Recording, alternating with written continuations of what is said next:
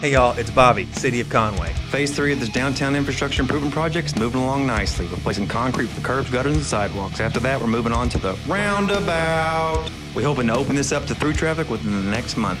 Oh, say, can you see